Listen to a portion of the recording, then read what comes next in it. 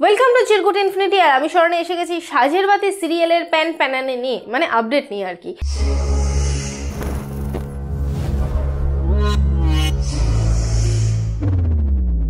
সাজের বাতি সিরিয়ালে প্রথমত আমরা ভাবলাম যে এই বুঝি আমাদের চারু সবার সামনে চলে আসবে, এই বুঝি চারু সবার সামনে চলে আসবে।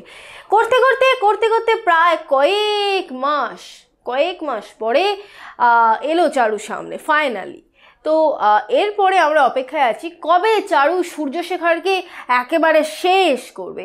এই করতে করতে, এই করতে করতে কেটেই যাচ্ছে কেটেই যাচ্ছে কেটেই যাচ্ছে মানে সময় চলে যাচ্ছে, আমরা দেখতে পাচ্ছি না। আমরা ভাবছি, এই বুঝি চারু ধরে ফেলবে, এই বুঝি সমস্ত রহস্য ফাঁস হয়ে যাবে, এই বুঝি একটা বিশাল কোনো ধামাকা বাঁধবে, কিন্তু না, এত সহজে ধামাকা বাজছে না। এর আগে বলা হলো যে, দুর্গা বিসর্জনের সাথে সাথে মানে বিজয়া দশমীর দিনই অসুর বিসর্জন হবে। আর সেই অসুর হিসেবে মেনশন করা হলো সূর্যকে। তো এখন যেটা দাঁড়াল, সেটা হচ্ছে আমাদের চারু গিয়ে ওদেরকে ডিরেক্টলি থ্রেট করে আসছে। ওদের ওই থ্রেট একদমই সহ্য হয়নি। তাই ওরা সিদ্ধান্ত নিয়েছে যে, ওই মেয়েকে আমরা শেষ করব। রনিত বলেছে, পুরো দায়িত্ব আমার, সিন্দুকটা আমি চুরি করব, করে দোষটা চাপাবো ওই চারু বলে ওই মেয়েটার উপরে, আর তারপর ওকে বাড়ির থেকে তাড়াবো। আর ওদিকে সূর্য বলেছে, ভগবানের নামে আমি ওকে মেরে ফেলব, এটাও আমি কথা দিলাম। এটা হচ্ছে তাদের প্ল্যান গেল। এদিকে চুমকি খেয়েছে পাল্টি, কারণ চুমকি এতদিন ধরে এত কিছু করেছে, সে বুঝতে পারেনি যে তার উপরে এসে এরকমভাবে একটা আসার পড়বে।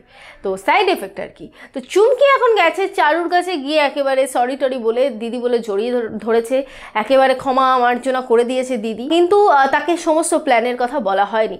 শুধু চুমকির কাছ থেকে এটুকু জানা গেছে যে চুমকির মায়ের নাম্বার মোবাইলে যেটা বলে সেভ করা রয়েছে, সেটা আসলে রনিতের নাম্বার তো এই বিষয়টা জানার পরে এটুকু বোঝাই যাচ্ছে যে রনিতি হয়তো মারতে চেয়েছিল চুমকিকে। কিন্তু কারণ কি কি বৃত্তান্ত সেগুলো নিয়ে ধীরে ধীরে আসবে, বৎস ধীরে ধীরে। আর কত ধীরে জানি না আমি। স্লো মোশন মেয়ে ওদিকে আমার বাড়ির গুরুজন গুরুজনদের আলোচনা।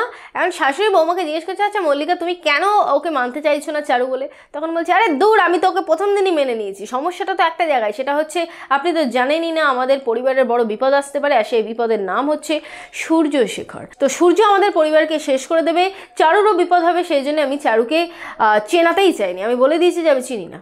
তো এখন শাশুড়ি মা বলেছে যে আরে যে মৃত্যুঞ্জয়, যে মৃত্যুকে জয় করে ফিরে এসেছে, তারকে তুমি কেন ভয় পাচ্ছ? তার কোনো ক্ষতি হবেই না। সে যেভাবেই হোক সামলে নেবে। এছাড়াও আরও একটা কথা বলেছে। বলেছে যে, তুমি যেরকম নাটক চালাচ্ছ, তুমি নাটকটা চালিয়ে যাও মানে কন্টিনিউ করো। বাকিটা আমি দেখছি। মল্লিক বাড়িতে কালী পুজো, লক্ষ্মী পুজো এগুলো পরপর হচ্ছে। তো তাতে বেশ কিছু জিনিসপত্র আছে। যেমন কি বলে জানি না চিনি দিয়ে বানায় একটা ছাঁচ টাইপের তারপরে লক্ষ্মী গণেশ আছে, যেগুলো সন্দেশ দিয়ে বানায়। অনেকে অনেক কিছু বানায়, নাড়ু বানায়। তো এরকমই কোনো একটা কাজের দায়িত্ব দিতে চাইছিল চারুকে। কিন্তু এখানে বাণী দেবীর মনে হচ্ছে, এ বাবা, আর্য তো তাহলে বুঝে যাবে যে বাইরের মেয়েকে দিয়ে এত কিছু কাজ করানো হচ্ছে। তখন আর্য সামনে এসেছে, সামনে এসে জানিয়ে দিয়েছে যে, তোমরা কার থেকে লুকাচ্ছ? আমি তো সবটাই জানি। কিন্তু আমি বলতে পারছি না। আমাদের একটু সময় দাও। আমরা একটা ধামাকা করব। তারই মধ্যে রঘুর নাম বলে ফেলেছে এখন চারুকে। তাও আবার আর্য বলেছে যে, বারে বারে রঘু বলে একজনের নাম উঠে আসছে, এবার রঘুর দাদাকে সেটা জানতে হবে। তাই এরা এখন একটা ফেক কল করেছে সূর্যকে করে বলেছে, দাদা, রঘুর অ্যাক্সিডেন্ট হয়ে গেছে। তো সূর্যশেখর ভেবে নিয়েছে যে, এটা তো একটা ভুয়ো হতে পারে। তাই সে বুদ্ধির সাথে তো গেমটা খেলেছে। কিন্তু অমৃতা পুরো বিষয়টা লক্ষ্য করে এদেরকে জানিয়ে দিয়েছে যে, রঘুর দাদা আর কেউ না, সূর্য। তখন এরা পুরোপুরি নিশ্চিন্ত হয়ে গেছে যে হ্যাঁ সূর্যই হচ্ছে আসল কালপিট তো ব্যাপার হচ্ছে এবার আমাদের চারু একদিকে প্রতিজ্ঞা করেছে। কালী পুজোর দিন কালী পুজোর রাত্রিরে অসুর বিসর্জনের মতো সূর্যকে শেষ করে বাড়ির থেকে বিদায় করে দেবে। ওদিকে আমাদের সূর্য প্রতিজ্ঞা করেছে। কালী পুজোর রাত্রে চারুকে মেরে এবং মল্লিক বাড়ির সবাইকে মেরে তাদের রক্ত মা কালীর পায়ে দিয়ে পুজো করবে।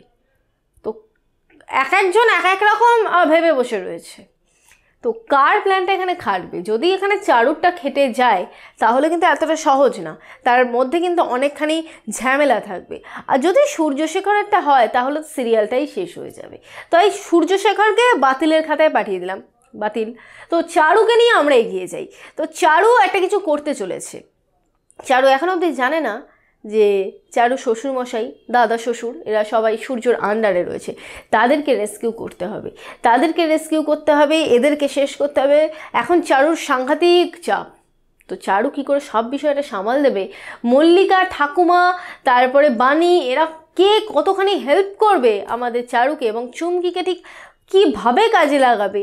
এই সবগুলো জানতে হলে অবশ্যই করে দেখতে হবে সিরিয়াল সাজের বাতি। আমাদের চারু বলেছিল যে বিজয়া দশমীর দিন নাকি অসুর বধ করবে সে। সে নাকি সূর্যকে একেবারে খতম করবে, ওই বাড়ির বাইরে তাড়াবে। সূর্য সমেত নাকি সূর্য যে গ্যাং ব্যাং আছে তাদেরকেও বাড়ি থেকে তাড়িয়ে দেবে। আমাদের চারু সেটা পারল না। কারণ অসুর ডিজিটাল নিকলা। আর এই ডিজিটাল অসুরকে বধ করা চারুর পক্ষে এতটা সহজ কাজও না। এবার চারু প্রতিজ্ঞা করেছে যে কালী পুজোর রাত্রেই নাকি সে এত বড় একটা কাজ করবে। তো কালী পুজোর রাত্রিরে যদি করতে না পারে, তাহলে আমরা অপেক্ষা করব পরের পুজোর জন্যে। তো পরের পুজোতে যদি না হয়, তাহলে তারপরের পুজো। না হয় আরও অপেক্ষা করব, এক বছর অপেক্ষা করব। সামনের বার বিজয়া দশমীতে যদি অসুর বধ করতে পারে আমাদের চারু, তো অপেক্ষাই অপেক্ষা করে যাব। কিন্তু এখন দেখার পালা এটা যে সেই সব দিকে কালী পুজোর রাত্রিরে এই অসুরকে বধ করতে পারবে চারু? যে অসুরকে বিজয়া দশমীর দিনও বধ করতে পারল না চারু। তো অবশ্যই করে দেখতে থাকো সিরিয়াল সাজের বাতি, স্টার জলসা ও স্টার জলসা এইচডিতে ঠিক রাত সাড়ে আটটার সময়। আমার ভিডিও ভালো লাগলে লাইক করো কমেন্ট করো শেয়ার করো, আর যেটা করবে সেটা হচ্ছে সাজের বাদে সিরিয়ালের সমস্ত আপডেট সবার ফার্স্টে পেতে অবশ্যই করে সাবস্ক্রাইব করো চিরকুট ইনফ্রেডি চ্যানেলকে ঠিক তার পাশে থাকা বেল বাটনটা অবশ্যই করে ক্লিক করো। আমার ভিডিও সবার ফার্স্টে পাওয়ার জন্য।